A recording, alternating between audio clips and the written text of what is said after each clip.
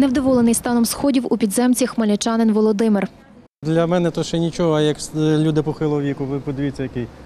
Тож можна вбитися. 27 травня в одній із соцмереж дописувачі опублікували фото, на яких видно, в якому стані знаходяться сходи підземного переходу у центрі міста. Цього тижня їх почали ремонтувати.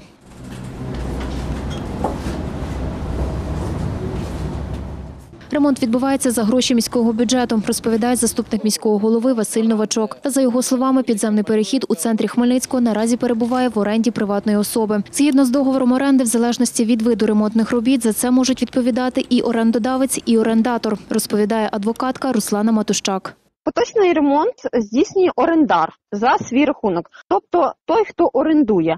А капітальний може здійснювати орендодавець, тобто власник. За свій рахунок, але в договорі це за загальними правилами цивільного кодексу статті 776. Однак в договорі, якщо сторони між собою домовились, то можна визначити і інші умови. Наприклад, здійснює навіть той самий капітальний ремонт орендодавець за свій рахунок або орендар, і тоді має право на відшкодування оцього ремонту. Хмельницька міська рада взяла на себе зобов'язання час від часу ремонтувати сходи підземного переходу у центрі міста, додає Василь Новачок. Загалом там, е, здається, шість входів, е, з яких е, два роки тому було відремонтовано два, які були в той момент в найбільш поганому, непридатному стані. Звичайно, потребує нормального капітального ремонту. Ну, але поки витрачати гроші з міського бюджету на об'єкт, який в судах і ще, я так розумію, недовго будуть поставлені там крапки, сенсу немає.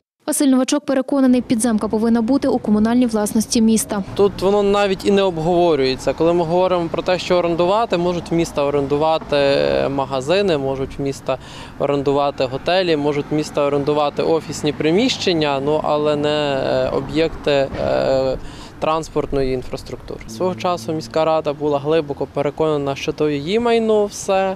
Е, Були рішення судів доволі таки дивні, е, згідно яких було визнано, що е, то майно Хмельницької міської ради, але ті квадратні метри, які здаються в оренду у власності іншої приватної особи. З 2020 року змінена форма оренди об'єктів, які відносяться до комунальної власності, каже Василь Новачок. Будь-які приміщення можуть передаватися в оренду або на продаж виключно через аукціон продажу Прозоро продажі. З березня цього року е, місто Хмельницький активно е, в цій системі працює. Е, Загалом проведено вже більше ста аукціонів оренди. Е, Велика частина з них визначили переможців, частину е, переможців не визначили. Згідно закону, подаються на повторну е, на повторний аукціон зі зниженням стартової ціни на 50%. То, власне, ця робота йде, йде активно. За коментарями звернулися до приватної особи, яка орендує приміщення підземного переходу. Проте відповіді не отримали. Валерія Ковальчук, Віктор Кривий, Іван Мовчан. Новини на Суспільному. Хмельницький.